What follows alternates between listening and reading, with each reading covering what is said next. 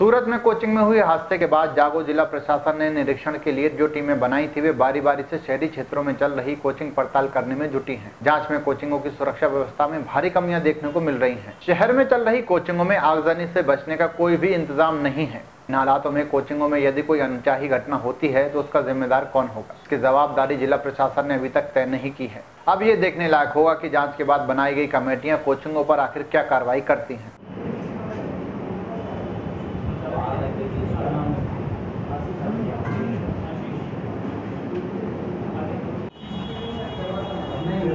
centre में अंदर CCTV में